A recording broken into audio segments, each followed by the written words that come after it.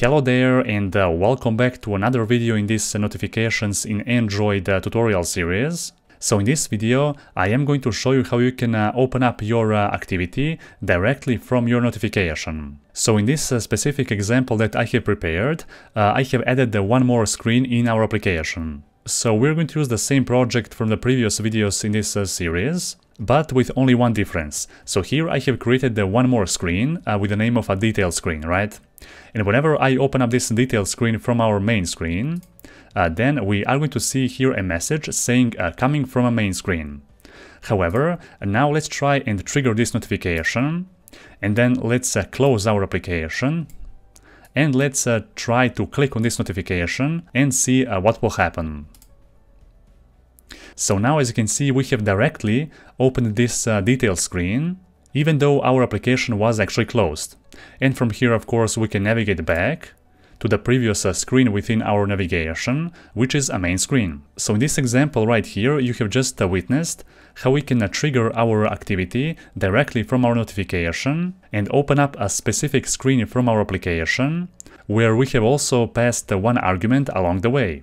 So uh, be sure to watch this video until the end, because I'm going to show you a couple of different things that are quite important for notifications in Android.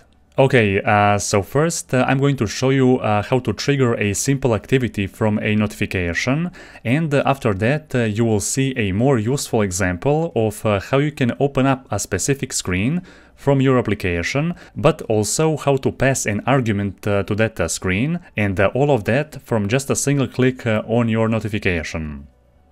For that we're going to use something that's called a deep link and you will see. So uh, the first thing here, I'm going to create now uh, a new pending intent that will allow us to trigger basically a uh, activity whenever we click uh, on our notification. So here I'm going to just uh, paste uh, some code and then I'm going to explain. And there we go. Uh, so here as you can see we have uh, created uh, just a simple intent.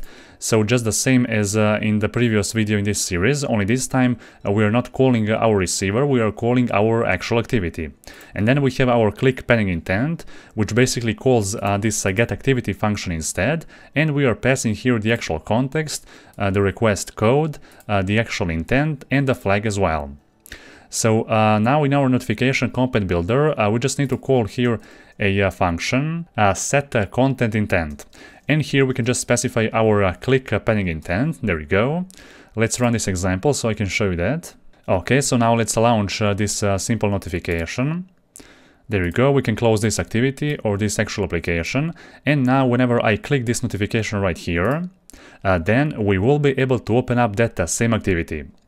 But uh, as you can see, this is just a basic and simple example, and in most cases uh, we're going to work with uh, multiple screens uh, or a nested navigation within our application, and in that case we also want to make the functionality so we can be able to basically uh, access uh, some deep screen within our application with a single click of our notification. And I'm going to show you that right now as well. So the first thing we need to reformat our code here in our project a little bit. So I'm going to create here one more screen. I'm going to name this uh, actual file a details uh, screen. Uh, here I'm going to just uh, paste uh, some uh, composable function, there we go. So, so this details screen will basically have one text on the center of the screen and that actual text will display uh, the message or the argument and this uh, message or this argument uh, will be passed to this screen dynamically either from our main screen or from our notification. So you will see about that. Uh, let me just uh, modify our main screen as well. So I'm going to add here uh, one more button. Let me just add that button right here. So I'm going to add here one more spacer. Perfect. And I'm going to add here a nav controller as a parameter to this main screen as well. So nav controller of a type of a nav uh, host, host controller. There we go. And whenever we click this uh, button, uh, then we are going to navigate to our detail screen, right? And to that detail screen, we are going to pass one argument, which will be just a simple text message that will say uh, coming from a main screen. Now let's just create here uh, our screen class as well. So let me just here create the new package actually. So uh, navigation. I'm going to create here uh, one uh, screen class. So screen class, there you go. This will be actually a sealed class. And this uh, screen class will contain only two destinations, a main and a detail screen, right? So uh, as you can see, this detail screen will have only one argument, and that will be just a simple string value, and the key of that uh, argument uh, will be named, for example, message. And I'm going to create here this uh, constant, so don't worry about that. Uh, next, let's create here one a new um, Kotlin file, actually, navgraph. And here I'm going to also just paste some code, and then I'm going to explain. Okay, so now as you can see in this uh, file right here, the first uh, thing which I have did, uh, I have declared here uh, two constants, and this first constant uh, will be used uh, as our deep link of our details screen actually. And that deep link will actually allow us to access and trigger our details screen directly from our notification without actually opening up our application and just going through each and every screen. So you will see about that. Anyhow, this is our actual key of our argument, so a message and there we have specified that uh, actual key of our argument. Here we also have a function, a pass argument, that will allow us to basically uh, pass that uh, argument to our detail screen. Let me just import this uh, screen class right here, so there we go. I'm going to now open up the main activity and here I'm going to uh, call our um, uh, setup nav graph function and here let's specify the nav controller. So remember a nav controller, there you go. And for now, let me just run this application so I can show you that we can actually navigate to our um, uh, detail screen from our main screen. Okay, so there we go. As you can see, this is our actual uh, main screen, which is the start destination. And whenever I click this uh, detail screen button right here, which we have defined in our main screen, uh, then we are going to navigate to our uh, detail screen and pass that message, which will say uh, coming from the main screen. Okay, so let's click that button. And there we go, so everything here uh, works uh, as expected. Now, uh, what I want to do here, I want to uh, basically implement the functionality to actually access this uh, same uh, detail screen, but from our notification instead. So whenever we trigger the notification and we close our application, and whenever we click on that notification, we want to immediately navigate to that detail screen without actually opening up first our main screen which is the start destination, okay? And for that, uh, you here need to define uh, this uh, deep links uh, parameter in your composable screen, okay? So uh, you need to specify this URI uh, pattern, and this my URI is the actual constant that we have defined right here. So you can change and customize this URI as you wish, but as you can see after this URI, we are adding here one slash, and then this uh, my arg constant, which is a message, then equal, and then within those uh, curly brackets, we are also specifying that uh, message key as well. And of course, within our composable, uh, we are just uh, getting the arguments, and we are extracting that uh, argument with the same key if it actually exists. So as you can see here, we are getting the string or the argument with that specified key of a message, and if that key actually exists, uh, then we are going to basically trigger our detail screen and uh, show it to the users. Now that's not uh, everything that we need to do here. So uh, the last uh, thing that we need to uh, specify and set up here uh, to be able to achieve that, uh, we need to open up our actual notification module and we need to modify our click intent and the click pending intent. Okay, so now I'm going to replace those a couple of lines with the new code and then I'm going to explain. Let me just import this URI. There we go. And we can also replace this message with our actual uh, argument. So my arg, which is the constant. So just add this um, dollar symbol. There we go. Uh, so this is how our actual click intent uh, needs to look like, okay? So here the first uh, thing which we need to specify is the actual action. So in this case I have just specified the action view.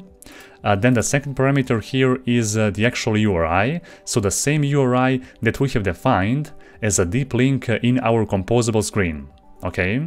So as you can see it's the same as uh, our actual URI from our our composable function right here, there we go.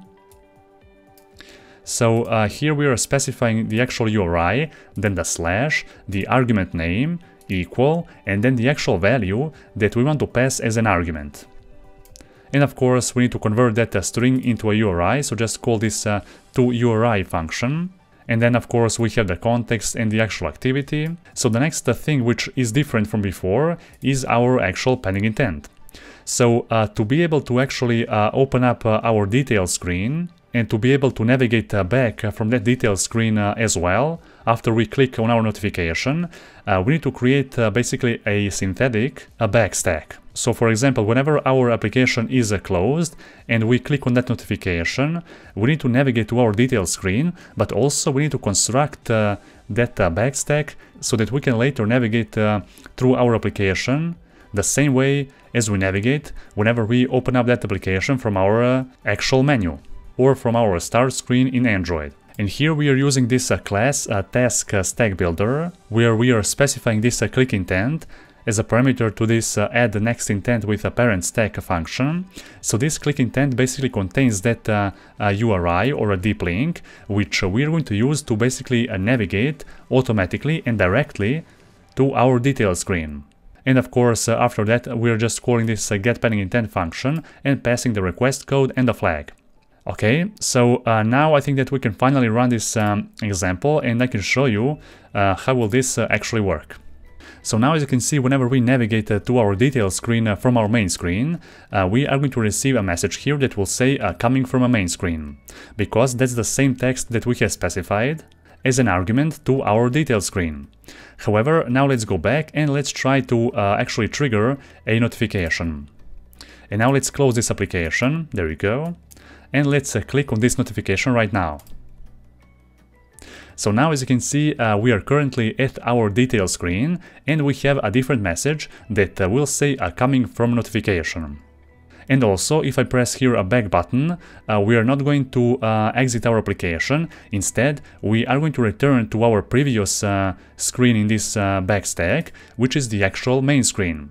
Okay, because when we have created this notification component builder, we have also specified how to create our backstack and which deep link to include whenever we open up our main activity.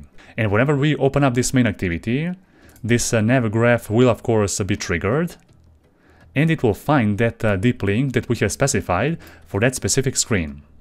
So that's how we are able to navigate uh, to a specific destination within our application, all from a simple notification.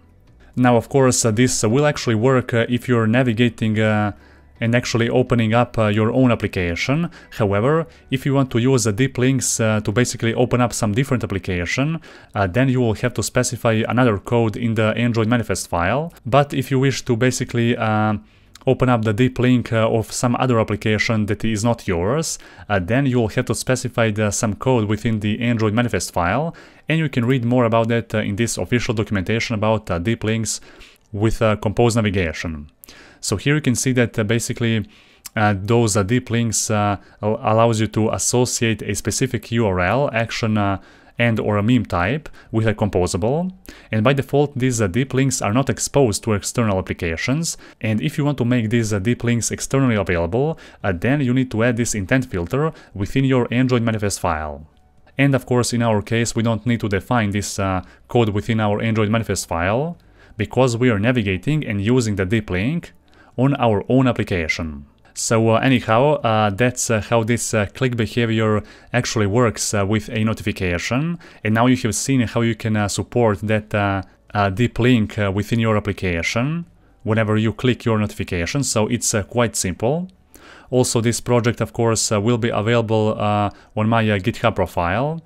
And you can open up this specific launch activity branch of this repository. So the source code is available. And if you have any question about this uh, specific code that we have written uh, in this video, uh, then feel free to comment down below and I will gladly answer to all your questions. So uh, be sure to comment down below and like this video if you find it helpful of course, and uh, see you next one.